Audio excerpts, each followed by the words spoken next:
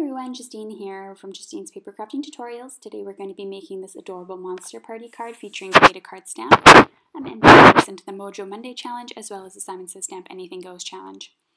We're going to start off with a piece, uh, our black card base. It's three and a half by six inches, and the theme for Mojo Monday this week is tall and skinny. So that's why I chose to make it that dimension. I cut out a bunch of things from the Cricut and the Cricut Explore, and actually these are all free images that come out with the Cricut Explore, and they're really basic. So you probably have a die or you have a Cricut cartridge that already has these on there, and it's going to be really easy to create. So I'm just going to glue everything down and start off with my card base, and then build up slowly to the stamping. So I'm attaching a piece of white cardstock onto my card. It's just cut a slightly smaller than my card base. I took one of my banners and I just cut it down so I could have two different banner lengths. Attached this black piece of cardstock, attached my banners, and then I was ready to start stamping on that white circle.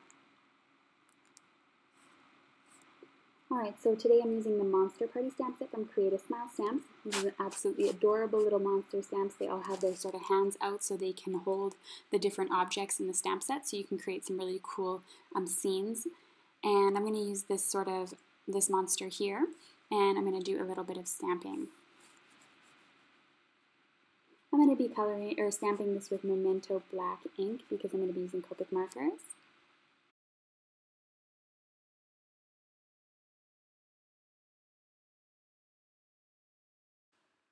Alright, so I colored in my monster. I used BG15 and some reds. I apologize, my camera must have turned off while I was recording that and he ends up being magically colored now. I didn't do any specific shading or anything like that, so I just really colored him in so you weren't missing any sort of Copic techniques. The next thing I wanted to do was I wanted to create some sort of um, background for him. I found that that was too, mm, the white was just too little for the, for the card and it blended in and it didn't stand out. While I complicated what I was going to do about that situation, I decided to stamp my sentiment in slate ink from close to my heart.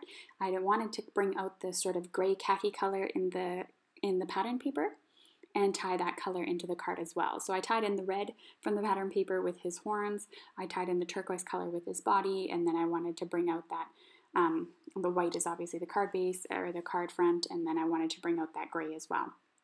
So I always kind of look at my pattern paper and see what colors I should work with. So this stamp is uh, How Old That's Scary. I thought it was kind of cute with the monster, and I think monsters are really trendy at the moment. I've noticed quite a few stamping companies that have actually come out with them. So I'm just going to attach this also to a red background. I put some a red marker around the edge to try and get it to stand out a little bit more, but it got lost. And so I was really happy that I cut out a red circle to add him on. I thought that just made him pop out a little bit more. Just added some 3D dots to the back of him there to, again, just make it pop a little bit more and the monster to really stick out on the page. Remove those and then attached it to my card. I put it sort of a little bit lopsided just to give it a little extra something and make it a little more fun. The last thing I'm going to do is I'm going to add some pearls. Um, I decided to color them with my Copic markers that I used on the actual monster. I did some in blue and I did some in red, but I ended up only using the blue ones anyway.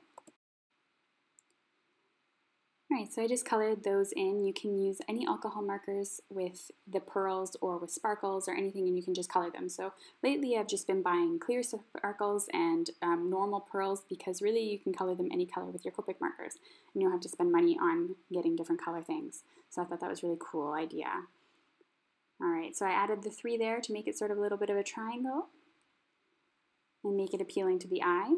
And that is my finished card. I hope you like it. Be sure to click the thumbs up button if you enjoyed this video and be sure to subscribe to see more.